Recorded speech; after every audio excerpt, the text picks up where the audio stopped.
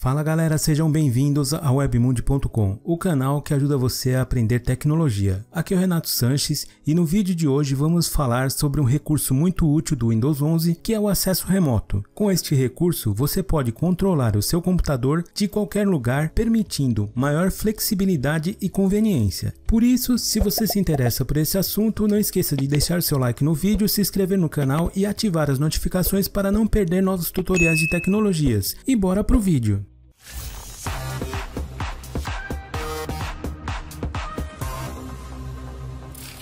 Você pode encontrar o roteiro, links e comandos desta aula no link da descrição aqui no YouTube. Outra dica é que dá para você mudar a velocidade desse vídeo. Se você quer assistir mais rápido ou mais devagar, é só acessar no player do YouTube a opção detalhes, o ícone da engrenagem e mudar para a velocidade desejada.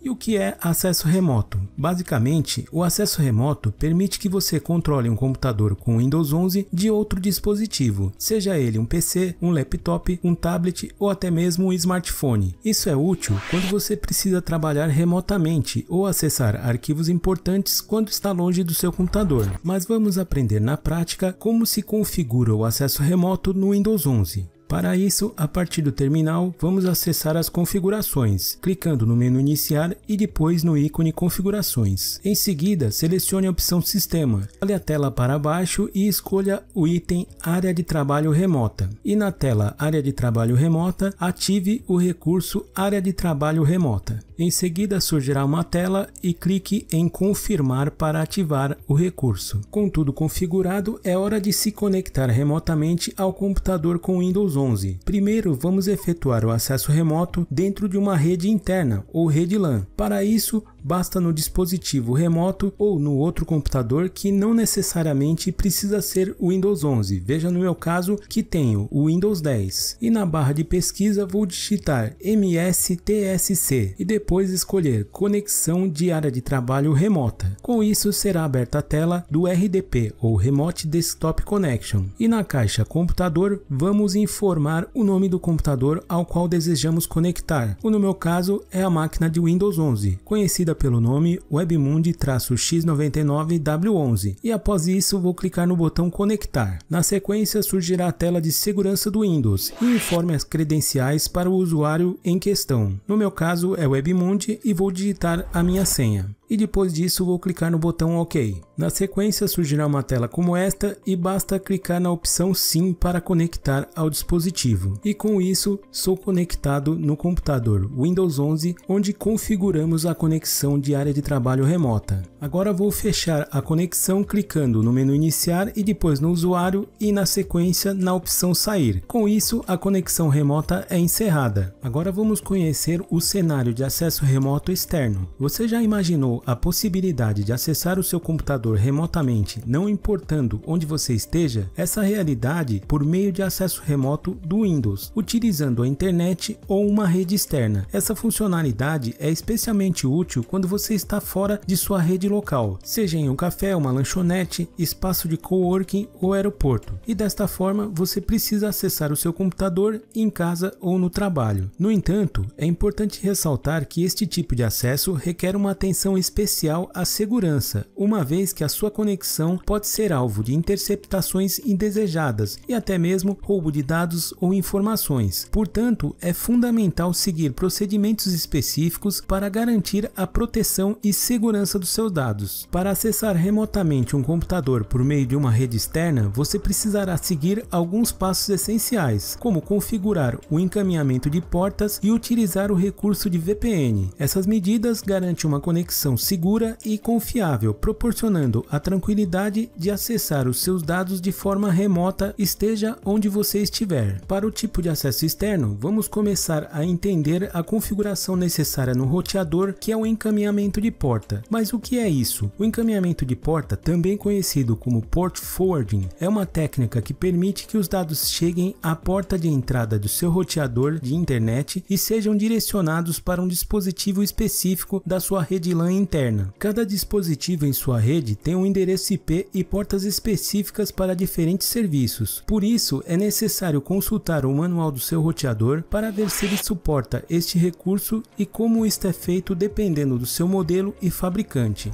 Basicamente, o redirecionamento de porta funciona da seguinte maneira: primeiro, ocorre a identificação da porta de entrada. Quando o dispositivo de fora da sua rede deseja acessar um serviço em um dispositivo interno, como por exemplo um servidor de jogos ou até mesmo um computador, ele se conecta a uma porta de entrada do roteador. Esta porta é como uma portaria de um prédio, identificando qual serviço ou dispositivo que você deseja acessar. Em seguida, o roteador redireciona para o dispositivo interno. O roteador verifica a solicitação com base na configuração de encaminhamento de porta que você definiu e redireciona o tráfego para o dispositivo interno correto. E por fim, o dispositivo interno responde. O dispositivo interno, como por exemplo o computador ou um servidor de jogos, recebe a solicitação de uma porta específica e responde ao pedido. Isso permite que você acesse remotamente esse serviço ou dispositivo. Em nosso roteiro você encontra mais detalhes sobre a configuração do encaminhamento de porta em linhas gerais, porque de forma detalhada você deve consultar o manual do seu roteador para mais detalhes. Além do encaminhamento de porta, é fundamental ter um serviço de VPN para garantir a proteção dos dados do acesso remoto na internet. O acesso remoto via rede externa é uma ferramenta valiosa, mas a segurança é fundamental. Uma VPN é a chave para manter os seus dados e privacidade protegidos. E o que é uma VPN? Uma VPN ou rede privada virtual é uma ferramenta poderosa que oferece acesso seguro e privado à internet. Ao criptografar a sua conexão, ela oculta o seu IP e suas atividades online, tornando quase impossível que terceiros mal intencionados como hackers ou cybercriminosos acessem seus dados. Em nosso outro vídeo aqui do canal detalhamos mais sobre VPN e suas funcionalidades e você pode ver este conteúdo clicando no card no topo da tela ou no link na descrição. Além disso, cabe um aviso importante na escolha de sua VPN. Nem todas as VPNs são iguais. É importante escolher um serviço confiável que ofereça criptografia robusta e políticas de privacidade claras. Para uma VPN confiável, recomendamos a NordVPN, que é parceira aqui do canal Webmundi. Caso tenha interesse em assiná-la ou conhecer o serviço, o link está na descrição. A NordVPN oferece muito mais que uma VPN comum, incluindo proteção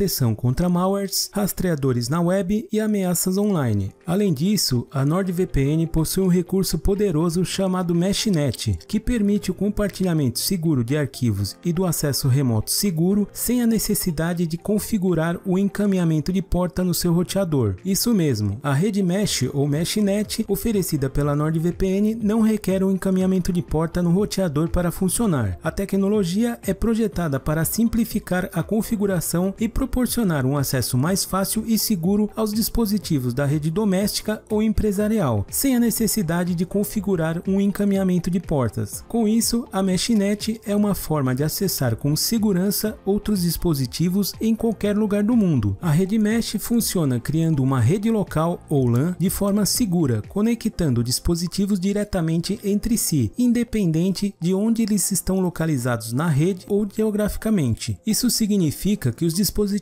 podem se comunicar uns com os outros sem a necessidade de configurações complexas como o encaminhamento de portas em roteador. Essa tecnologia é especialmente útil para atividades que requerem alta velocidade de rede, baixa latência e segurança avançada, como compartilhamento de arquivos, colaboração de trabalho e jogos intensos de multijogador. Portanto, ao utilizar a rede mesh da NordVPN, você pode simplificar a conectividade e o acesso remoto de seus dispositivos em sua rede. Mas vamos agora aprender a configurar a meshnet da NordVPN para que você saiba como é feito o processo de acesso remoto neste serviço de VPN. A meshnet está disponível em diversos sistemas operacionais como Windows, macOS, Linux, Android e muito mais. Para utilizá-la, basta ter o Windows 10 com uma versão ou edição de 64 bits ou posterior como Windows 11. Além disso, o NordVPN instalado. Para habilitar a MeshNet, vamos aos procedimentos. E como você vê em tela, são três: ativar a MeshNet nos seus dispositivos, convidar as pessoas e efetuar o acesso remoto ao dispositivo, como por exemplo o desktop remoto ou área de trabalho remota do Windows. Mas vamos ao passo a passo desse processo. O primeiro passo, logicamente, é instalar a NordVPN em seu computador. Depois, abra a NordVPN e faça o login. No menu do lado esquerdo, selecione MeshNet. Em MeshNet, ative o botão MeshNet. Quando conectado ao MeshNet, seu dispositivo recebe um nome Nord exclusivo e um endereço IP MeshNet, que você pode usar para acessar o dispositivo a partir de outros dispositivos vinculados na MeshNet. Você pode encontrar a informação do MeshNet do seu dispositivo na guia Dispositivos Pessoais ou Personal Devices,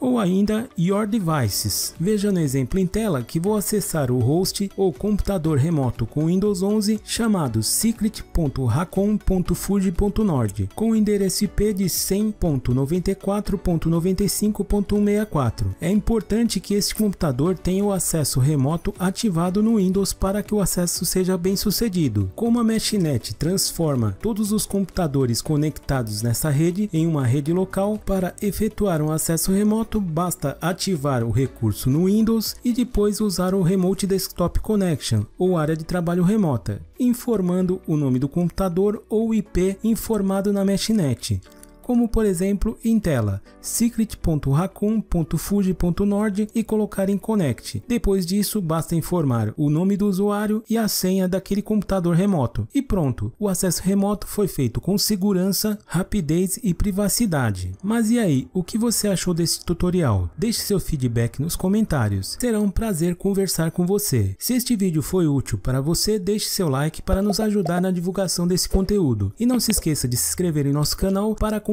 mais dicas e tutoriais sobre tecnologia. Para não perder nenhuma novidade, ative as notificações de nosso canal clicando no sininho e receba em primeira mão todas as dicas e atualizações que estamos sempre preparando para vocês. Aproveitando, gostaríamos de agradecer aos apoiadores do canal. Nosso muito obrigado às doações do João, do Diego, do William, do Israel, do Lucinei, do José Barbosa, do Faber, do Luciano, do Hammer, o Eloy, o José e o Oswaldo, além de outras pessoas que gostam de nos apoiar de forma anônima. A todos um forte abraço e nosso muito obrigado. O apoio de vocês faz toda a diferença e nos ajuda a continuar produzindo mais conteúdos gratuitos aqui no YouTube. Parabéns, fico muito feliz em saber que este conteúdo está sendo útil para seu crescimento profissional. Por isso, não esqueça de deixar o seu like, se inscrever no canal e compartilhar este vídeo com seus amigos. Além disso, interaja nos comentários, pois adoramos conversar com você. Se você puder e quiser, pode apoiar o nosso canal fazendo uma contribuição através do Pix. A nossa chave Pix é pix@webmundi.com. Toda e qualquer contribuição é bem-vinda para manter nosso canal, site e produção de novos conteúdos. Envie suas sugestões de vídeos e conteúdos. Obrigado pela sua audiência e visita. Convido você a explorar outros vídeos do canal e visitar o site webmundi.com para descobrir mais dicas e tutoriais de tecnologia. Por fim, agradecemos todo o apoio e oportunidade. Um forte abraço e em breve nos encontraremos em mais uma videoaula.